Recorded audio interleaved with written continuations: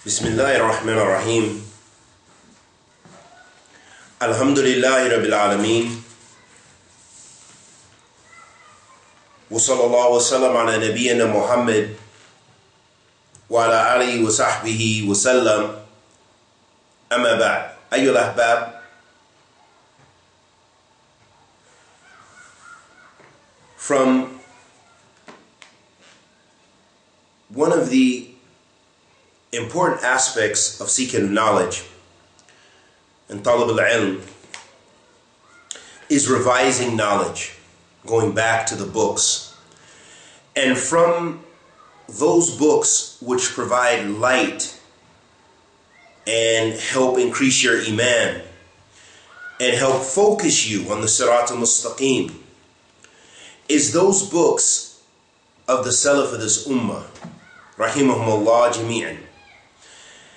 And that when you find yourself being too harsh, go back to the books of the Salaf. Of course, first and foremost, going back to the Quran and the Sunnah of the Prophet. But when it comes to some of those issues that to explore some of the issues that were explored by the prior generations, it requires us going back to the understanding of the Salaf this Ummah. So if you find yourself being to one extreme, too harsh, go back to the books of the Salaf. If you find yourself being too soft, go back to the books of the Salaf. And I find that personally, that by looking back into the books of the Salaf, it helps us to stay uh, focused on our priorities, which is to worship Allah Azza wa Jal, which Allah subhanahu wa ta'ala says, في كتاب الكريم وما خلقت الجن والإنس إلا ليعبدون. I have not created mankind and jinn except for the purpose of worshiping me.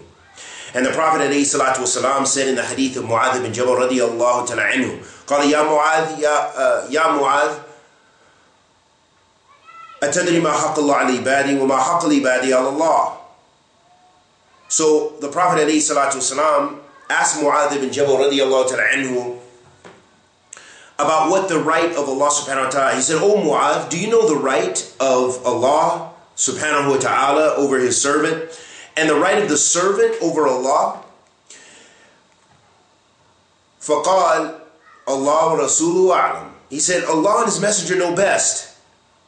Then Mu'adh, uh, the Prophet والسلام, said, حق الله على عباده أن يعبدوه ولا تشركوا به شيئا. وحق العباد على الله أن لا يعذب من لا يشركوا به شيئا. The Prophet والسلام, said, answering the question or answering uh, his own question, it was there in order to make bayan and tawdih and to make things clear for Mu'adh to give him important information to him, this very important ilm. And so the Prophet ﷺ said, the right of Allah over his servant is that he worships him and him alone. And the right over the servant over Allah Azza wa Jal, and of course this right is only uh, given by Allah and can only be enforced by Allah subhanahu wa ta'ala. The right of the servant over Allah is that Allah will not punish him if he worships him and him alone.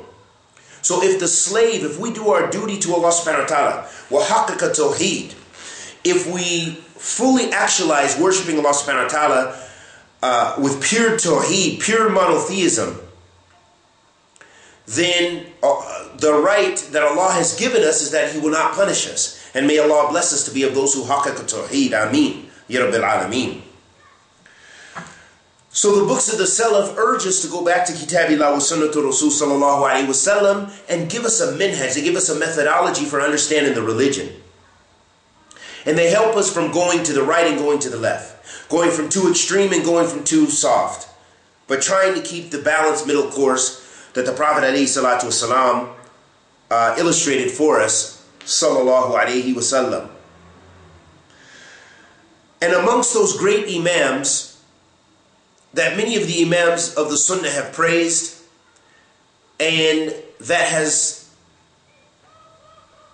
been a source, a, a, a great resource of learning the i'tiqad and making clear the i'tiqad of the Salaf of this ummah, the creed of the Salaf of this ummah, is Imam Barbahari, rahimahullah ta'ala. One of the great Hanbali scholars, he was on the madhab of Imam Ahmed, and he was born in Baghdad and raised in Baghdad. He was a scholar in Iraq. And in some of the statements regarding Imam Barbahari, rahimahullah ta'ala, because we want to keep this study of his book as brief as possible, but full of benefits as much as we can, to the best of our ability, but at the same time concise. And the treatise we're going to study, bi'idnillah, is called Tahdib Shar Sunnah lil Barbahari. This is the abridged version of Shara Sunnah or the, the creed by Imam Barbahari, rahimullah ta'ala. So he was known as Wahul Imam Al Qudwa Shaykh Al Hanabila wa Kabirihim fi Asrihi Abu Muhammad Hassan ibn Ali ibn Khalf Al Barbahari. وهذه نسبة إلى بربهار وهي أدوية التي تجلب إلى الهند So Imam Barbahari rahimahullah ta'ala was from the great Hanbali scholars and from the major ones in his time. And his name, he, his kunya was Abu Muhammad, the father of Muhammad, Al-Hassan ibn Ali ibn Khalf al-Barbahari. Rahmatullah alayhi. Rahmatin wasiya. And the name Barbahari, it came, it is associated with a place called, or uh, actually a medicine called Barbahar. So perhaps it's from Bihar, I don't know, in Hind, because this is a medicine which was uh, made or had come from India. And he was known for whatever he was associated with Barbahar, this place or this, uh, which was uh, this medicine that came from uh, India. And without going, uh, you can find probably in other explanations details about the great Imam, Imam Barbahari. But again, I wanted this to be as brief as possible and benefits on how to a, a, brief study of how to understand, or one of the great books in the Creed of Ahl Sunnati wal Jama'ah, the Aqidah of Ahl Sunnah, the Minhaj of Ahl Sunnah, in understanding the Sunnah of the Prophet sallallahu alaihi wasallam. And we will use for our study, again, we'll try to be as brief as possible, but we're going to bring benefits from Imam uh, Salih bin Fawzan, Hafidullah Ta'ala, will also bring benefits from Imam uh, Ahmed ibn Yahya al-Najmi, rahmatullah alayhi, rahmatan wasiya. Also, we will benefit from Allama uh, Sheikh Rabi bin Hadi al-Madkhali, Hafidullah Ta'ala, as well as Sheikh uh, Ajabri, Sheikh Ubaid Ajabri, Hafidullah Ta'ala. And all of these are, are from our ulama of Ahl Sunnah, and they all have explanations, or at least some ta'liqat, on this in very important treatise. But pre predominantly, we will focus more on probably bringing some fawaid benefits from Sheikh Salih bin Fawzan's explanation, as well as Sheikh Ahmed al-Najmi, because uh, he also was very a bit more concise in his explanation, and it makes it easier for us to go in and get some of the fawaid in a short period of time. And we will also rely predominantly for our main text, uh, the book Tahdib Shar Sunnah Lil, Lil Barbahari, and this was uh, abridged by Hamid ibn Abdulaziz ibn Atiq Hafidullah Ta'ala. So we will use his treatise because it's very small. And he said in the introduction, the reason he abridged it is he was asked by one of his students, or he was asked by uh, a brother named Mubarak, who uh, asked him to abridge Sharh Sunnah.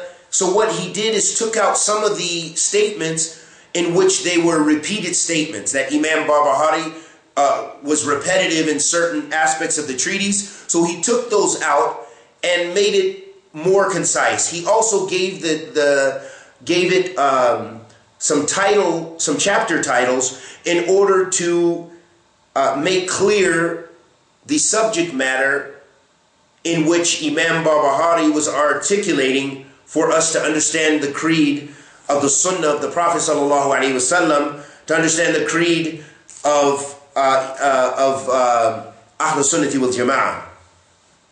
So we will begin very briefly in this first this first sitting. We're just really dealing with the introduction, and we'll read a, a few statements of some of the great imams with regards to him. Uh, Imam Dhahabi, rahimahullah ta'ala, said, fi Ibr, in a book called Ibr, he, he described Imam Barbahari, rahimahullah ta'ala, saying, Al-Fiqi al-Qudwa, Shaykh al-Hanabila bil-Iraq, قالا وهالا وهلالا وكان له صيت عظيم وحرمة تامة He said that Imam Barbahari rahimahullah ta'ala was a great faqih, you know, in his understanding of the religion and, and you know, a great imam of the Hanabila uh, school of thought in, in jurisprudence in the madhab of Imam Ahmed. And he was one of the great Hanabila scholars in Iraq. And he was an imam that practiced. He knew the halal and the haram. He, you know, had understanding of the religion and knew the, the fiqh and the conditions and the also he was uh, upright and righteous in his statements and he was also very strong and determined and strong in ilm and uh, Imam Dhahabi praised him greatly.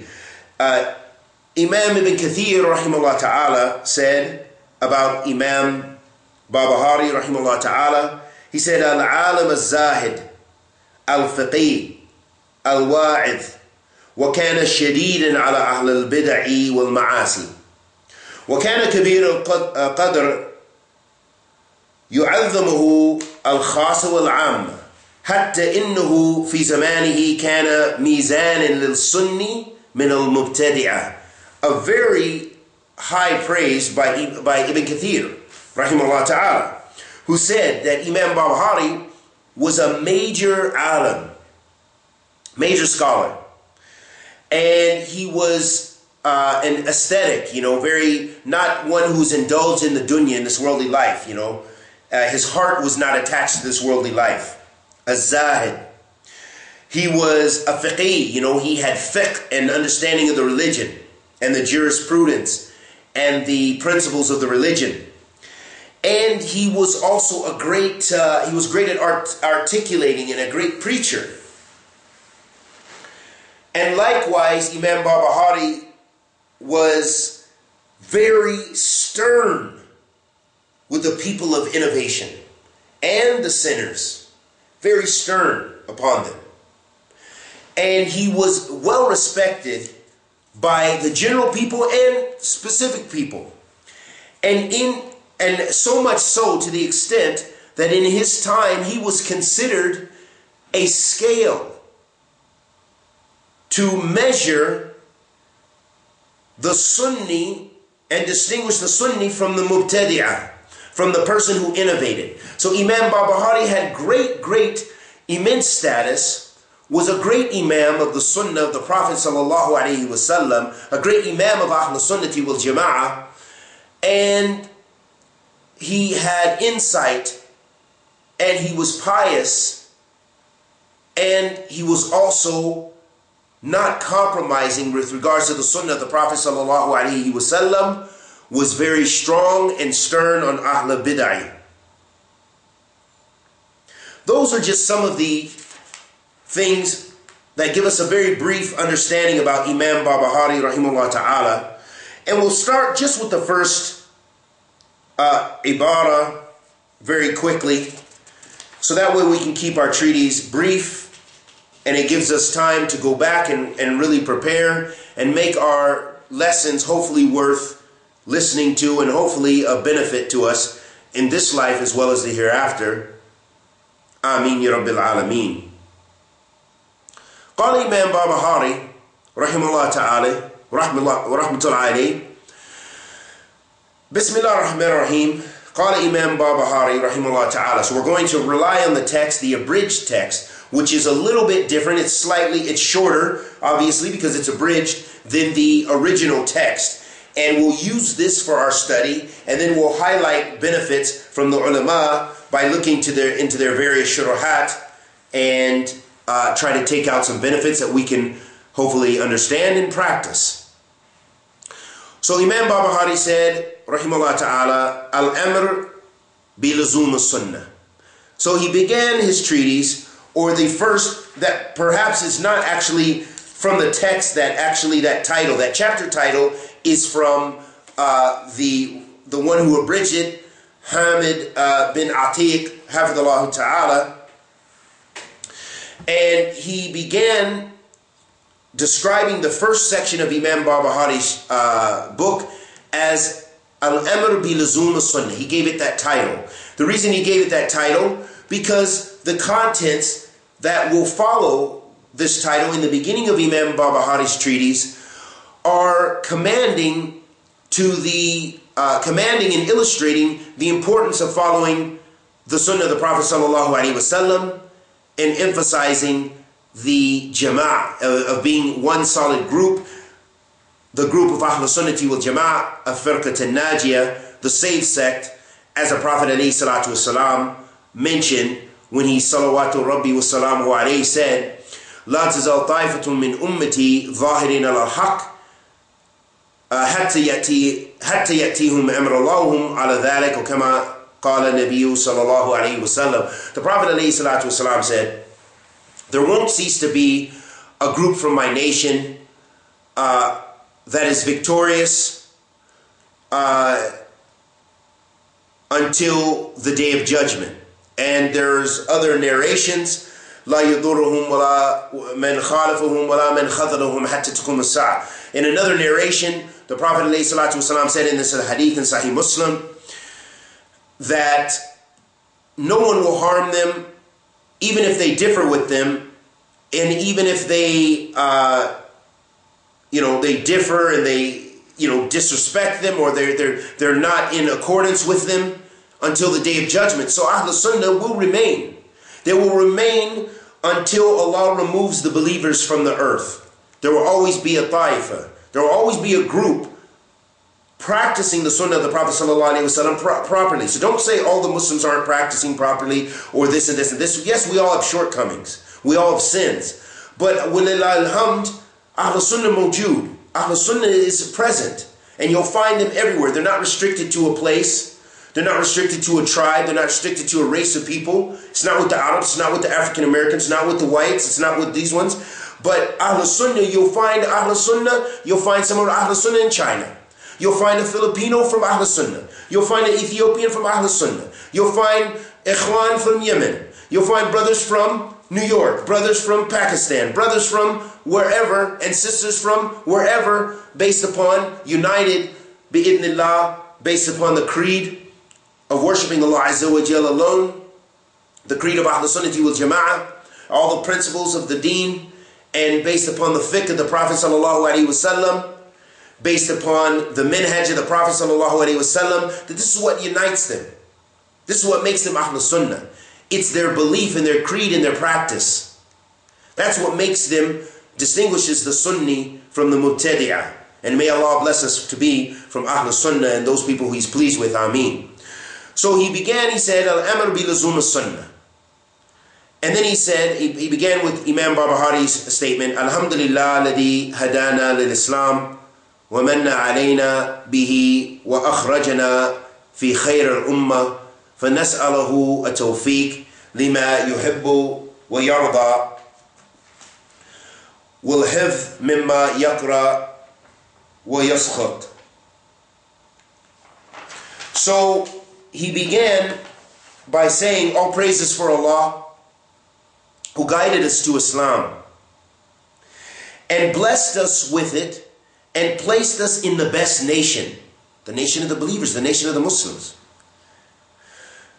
And so we ask him to grant us that we keep to that which he loves and is pleased with and avoid that which he hates and which angers him. And that's a beautiful dua, and may Allah accept that from us. And may Allah bless us with ikhlas, with the bad al sunnah. Because the two conditions for us to have any of our deeds accepted, and this is what we want. We want to have our deeds accepted. We want to enter Jannah. The reason we study books like this, these books of the Salaf, and, and so forth, because we want to come closer to Allah. That's the point. It's not about, uh, you know, raising yourself in the eyes of the people or what any other uh, uh, amur dunyawiyah, these, these uh, worldly affairs. But in fact, it should be a means to bring us closer to Allah. So let's make your intention now that you are going to, if you're going to listen to this dars, that it's going to be for the sake of Allah to benefit yourself. And I will do the same to make my intention every time we begin to sit.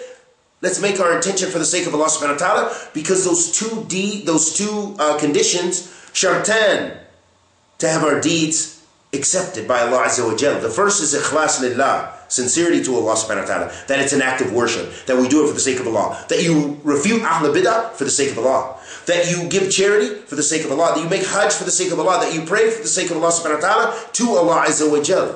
All those things are for Allah.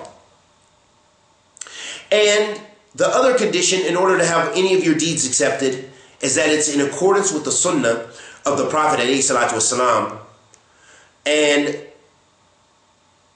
Imam Barbahari will expound this and we will talk about this more in detail as we get into the treaties. And so we'll stop there and we ask that Allah, the Almighty, accepts our good and forgive our evil and put this on our scale of good deeds and forgive us of our many shortcomings. And may Allah bless us with ikhlas, with tabat. وصلى الله وسلم على نبينا محمد وعلى آله وصحبه وسلم